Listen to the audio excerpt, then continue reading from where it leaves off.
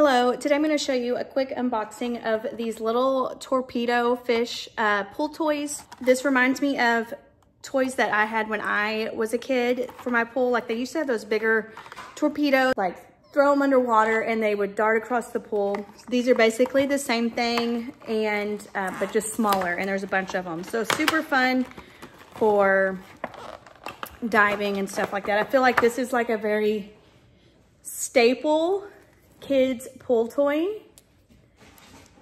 Lots of fun colors.